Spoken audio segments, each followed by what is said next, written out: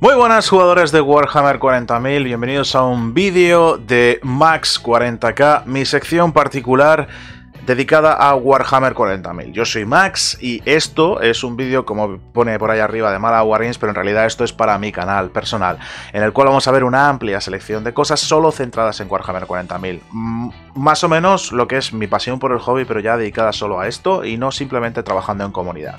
En el vídeo de hoy quiero hacer una explicación eh, introductoria para muchos de vosotros que queréis iniciaros al hobby coleccionando un ejército de marines espaciales o marines espaciales del caos. Quiero haceros la presentación, ¿vale? De lo que son los Start Collecting, la idea que tienen de ellos y si es beneficioso o no para, eh, para vosotros el comprarlos o adquirirlos, ¿vale? No voy a meterme en el tema de eh, dónde se puede comprar más barato o más caro, obviamente para eso pues os aconsejo que vayáis a, mi canal principal, os dejaré vídeos por aquí abajo de pues diferentes trucos y, opciones para comprar barato y podéis hacer pues eh, sacar el hobby de una forma que sea un poco más rentable monetariamente para todos vosotros, ¿de acuerdo? Tenéis que recordar una más que iniciándose en el hobby, ahora mismo los marines espaciales tienen dos tendencias, que son los marines de primera fundación, o los conocidos por todos eh, como achaparrados, o las nuevas secciones de primaris, los marines más evolucionados, que básicamente, bueno, pues es una mejora en lo que es la historia de marine, eh, y por desgracia, pues las tácticas que usan a lo mejor no son exactamente las mismas, eh, no tienen todas las mismas configuraciones, etcétera, así que hay que distinguirlos por base a todo lo que pueden hacer. En el caso del caos, que es, pues como podéis ver, muchos de mis ejércitos principales, eh, hay la coña o la cosa de que cada legión tiene sus diferentes tácticas u opciones de hacer esto. Esto lo estoy grabando en noviembre de 2020, estamos eh, a punto de en diciembre de que salga el nuevo códex eh, de la Death para novena edición y se supone que vendrá ahí pues una patrulla de combate, un Star Collecting o cosas así. Os voy a introducir un poco más en eh, todo lo que es el rollo de los Star Collecting o las patrullas de combate como las van a llamar ahora, ¿vale? Que es en principio una de las formas de iniciarnos al hobby más baratas que hay. También tengo que deciros que a día de hoy que estoy grabando esto todavía no sabemos si van a venir o no van a venir lo que son las llamadas Battle Force o cajas eh, de packs especiales con eh, un descuento interesante para las navidades o incluso anunciar nuevas campañas, ¿de acuerdo? O sea que tenéis siempre todo esto en standby o en vilo y hacedme caso y, eh, a esos vídeos en los que os decimos dónde comprar más, dónde hacer que os salga todo un poco más económico para que, bueno, pues os podáis organizar con tiempo. Lo primero de todo, siempre es deciros que el plan principal de este canal es seguir las directrices de Mala Wargames, que es monta, pinta, colecciona y después juega o hazlo todo a la vez eh, si te puedes organizar y puedes hacerlo eh, por partes y disfrutar, sobre todo disfrutar del hobby, ¿de acuerdo? Bueno, vamos eh, por partes, como diría Jack el Destripador. Y es que tenemos aquí un, tema principal que son los starter, los starter collect, los collecting, perdón, o los kits de iniciación al eh, hobby. Eh, tienen un precio estándar mm, debido a diferentes eh, subidas y demás, pues de unos 70 a 80 euros. Y luego las opciones de patrullas de combate que ya están por aquí añadidas también, si no me equivoco, por aquí abajo están, que tienen un precio de 110 euros. De momento este es un precio estándar. Por cierto, tenemos que anunciar ya que, por ejemplo, la de los lobos espaciales, eh, el Start Collecting de los lobos espaciales está definitivamente agotado online. No sabemos si esto es una premisa ya a lo que está por venir, ¿de acuerdo? Ya no está disponible. Esto era un chollo, bueno, chollo, eh, sí, estaba muy bien. Y por desgracia, eh, ya lo hablaremos eh, más tranquilamente en el canal, el por qué eran tan buenos. Bueno, mm, os hablaré después también de las Battle Force porque pueden ser muy interesantes. Empecemos, por ejemplo, con el caos. En el caos ahora mismo tenemos dos Start Collecting. Ignorar el códex, ¿vale? Porque son 80 euros cada una, que son las del caos genérico y las de los mil hijos. No tenemos más opciones, ¿de acuerdo? Bueno, sí, hay una Battle Force que a lo mejor seguramente encontráis por muchas tiendas, en las que os van a venir pues muchos marines eh, del caos multipose y otras unidades que todas ellas, eh, de una forma u otra, van a ser eh, bastante interesantes el uso. Ahora mismo, el código de los marines espaciales tenemos un problema general con algunas unidades que es que comparadas con los marines normales están sobrecosteadas, pero bueno, es una cosa que tenemos que asumir y podemos disfrutar del hobby igualmente. En esta caja por 80 euros os viene un personaje que es un hechicero, os viene una escuadra de 10 marines espaciales eh, de único montaje, pero muy detallados. Os vienen dos arrasadores o obliterators que son muy buenos. Nos viene un Venom Crawler, que es un nuevo, bicho, un, nuevo vehículo que solo viene en esta caja, al igual que los arrasadores. Y también nos vienen dos Exalted eh, Gran Poseídos o Great Possess, ¿vale? Que son personajes y además es una unidad de élite que está bastante bien. Esta caja está bastante completa, de hecho esta es la, división de la caja de eh, South Spear y eh, es la parte íntegra del caos.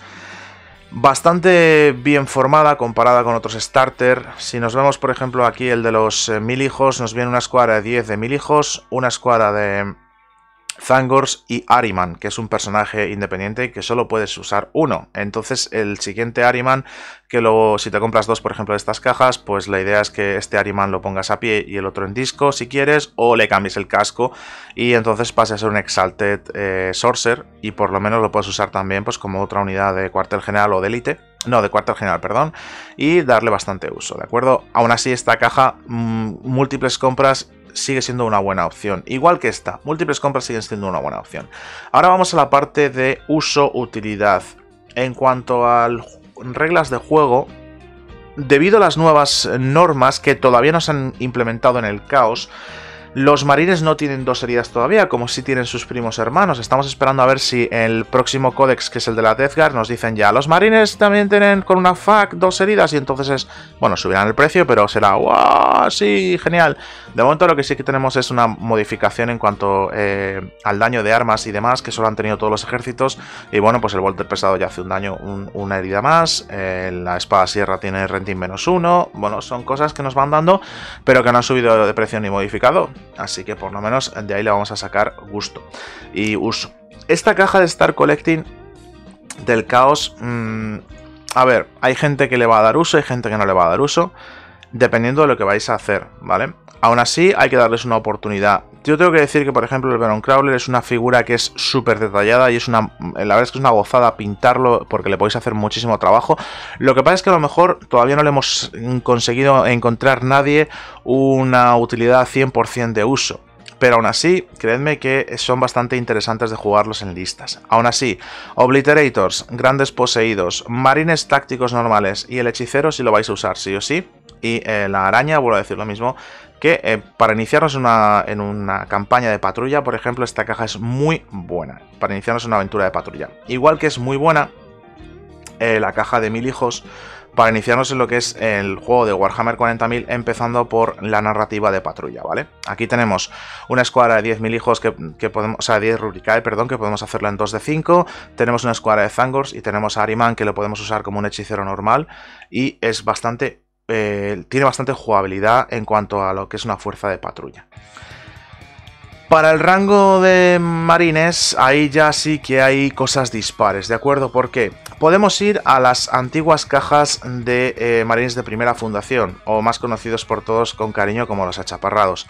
De estas nos quedan, por ejemplo, la de los ángeles sangrientos, que tenemos por aquí, que bueno, pues eh, la escuadra de táctica de 10 con eh, hombreras y cascos y armamento personalizado para los ángeles sangrientos, el Predator Baal, eh, se le puede dar todavía un uso, la escuadra táctica se le puede dar un uso y el personaje que eh, se supone, a ver, es un capitán genérico, pero también se supone que es un personaje, bueno, pues tiene algún uso. A ver, esta caja suelen tener un 30% de descuento más o menos, ¿vale? Pero sí que es verdad que al ser de los de antigua fundación, pues... Ah, ah, ah, Viene una caja nueva ahora, una, caja de patrulla por 110 euros. Pero si lo que queréis es iniciaros con eh, marines espaciales y no queréis ir a los antiguos, yo os recomiendo que si no tenéis, ojo, ojo, repito, ojo, prestad atención a lo que voy a decir, ¿vale?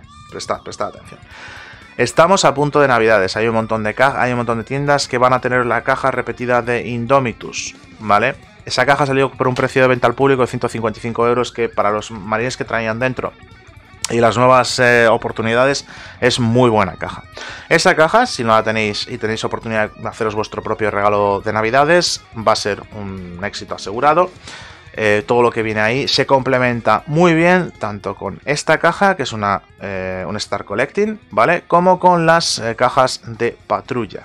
Las cajas de patrulla nuevas. La diferencia son 30 euros y el material que viene dentro es bastante diferente, ¿de acuerdo? Además estamos eh, pendientes de que salga la caja de los... Eh, ángeles sangrientos, que vendrá también con cosas interesantes. Aquí que tenemos, aquí tenemos una unidad, una escuadra de eliminators, una escuadra de suppressors, ambos son muy buenos, así que es verdad que les han cambiado, han modificado algunas reglas y demás, pero siguen siendo muy interesantes. Tenemos un teniente en armadura Phobos y luego tenemos una escuadra de 10 infiltrators o dos escuadras de 5, que también los podemos hacer de los otros, que vienen todos en armadura Phobos. Esta es la, caja Phobos, por decirlo así, y es una caja muy buena. Estamos también pendientes de saber si nos van a sacar la caja de venganza oscura partida para los marines espaciales o no.